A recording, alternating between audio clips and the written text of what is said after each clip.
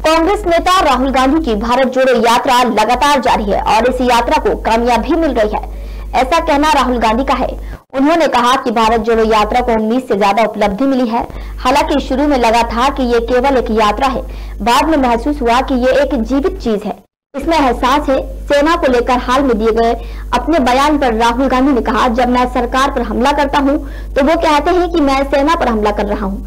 सरकार को अपनी गलतियों का को स्वीकार करना चाहिए और सशस्त्र बलों के पीछे नहीं छिपना चाहिए।